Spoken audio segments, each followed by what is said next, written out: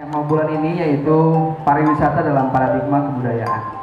Ya, seperti kita ketahui bahwa pariwisata hari ini adalah salah satu sektor ekonomi real yang menjanjikan, di mana pemerintah, baik pemerintah pusat maupun pemerintah daerah, melakukan berbagai upaya untuk mendukung aktivitas pariwisataan ini dengan cukup serius lewat dinas pariwisataannya.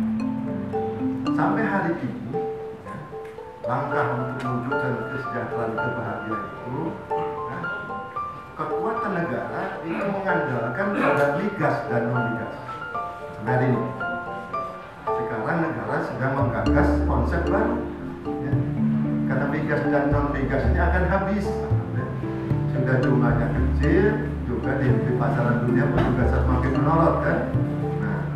Sekarang ada satu gagasan baru, dan kebijakannya adalah pariwisata dan prosesnya itu disebut dengan industri pariwisata. Ya. Komponennya apa? Satu, ya, ini kan akomodasi, akomodasi pengunjung nih. Ya. Hotel dari mana-mana kalau tidak ada hotel, apa kita mau pariwisata? Duitnya diterima oleh siapa nantinya? datang ke sini bisa mengunjungi tempat wisata kalau infrastrukturnya.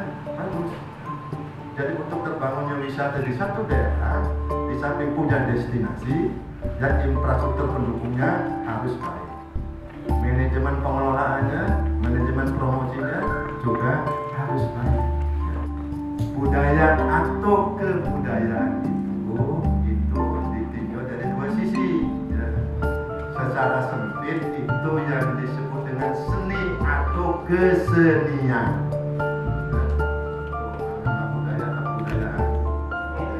Bisa mungkin bisa mendengar dengan begitu jelas bahwa memang memang kita mesti bisa memahami dulu apa sebetulnya pemahaman kita tentang pariwis- kepariwisataan. Dan juga tentang apa itu budaya. bisa itu geowisata itu sebenarnya satu aja. Jual keindahan. Jadi ada sesuatu yang indah yang tadi Budi juga sampaikan yang membuat mata kita senang segar dipelihara. Itu yang kita perubahan paradigma dunia sekarang ini bukan mem- eh, memelihara mengkonservasi. Dan mengkonservasi pun ada ilmunya siapa yang dikonservasi? Apa yang dikonservasi? Siapa yang melakukan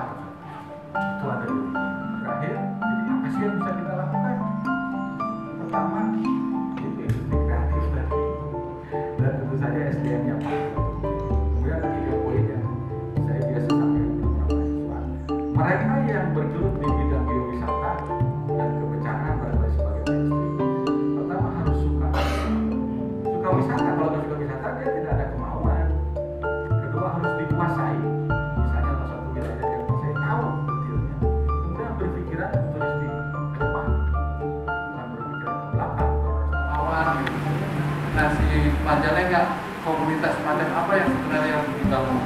Kalau membangun saya lagi lagi misalnya kalau tentang kalau bapak ya misalnya datang ke Batu pertama wali kotanya bersyukur adanya eh, taman tematik tetapi tidak bersyukur karena kalau pengunjungnya kalau dihitung melebihi Jogja tetapi penghormatan batunya itu tidak seperti melebihi Jogja kemudian eh, kita ke sana lalu kita cek ternyata yang mereka nggak adalah pengetahuan.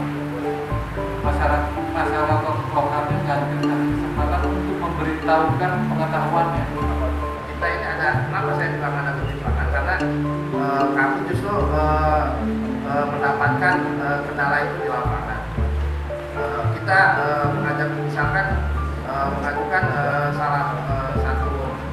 kegiatan yang untuk pariwisata. Kita sudah sampaikan baik ke dinas kemudian juga ke sektor bupati bahkan juga ke sekda segala macam. Yang kami sayangkan pada saat ini tidak ada sinergitas ya. Kita eh, mewujudkan manusia yang bersyukur kepada tanda-tanda kebesaran yang maha kuasa. Yang kedua juga tadi memahami tentang bumi dan alam itu bagaimana diperlakukannya. Tadi cek pagi ini tahun ini baik rusak alam kemudian ini bahasa-bahasa filosofi bicara tadi sumber dayanya seperti apa yang memahami tentang bumi dan alam ini kan? Ini kan suatu pertanyaan yang sangat besar dan sangat selalu dibicarakan